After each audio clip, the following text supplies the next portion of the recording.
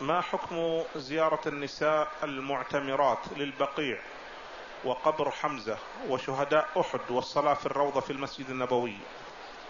الصلاة في الروضة إذا تيسرت لا بأس للرجال والنساء وأما زيارة القبور فإنما تجوز للرجال فقط أو تستحب للرجال فقط. أما النساء فحرام عليهن زيارة القبور لا قبر الرسول ولا قبر حمزة ولا غيره.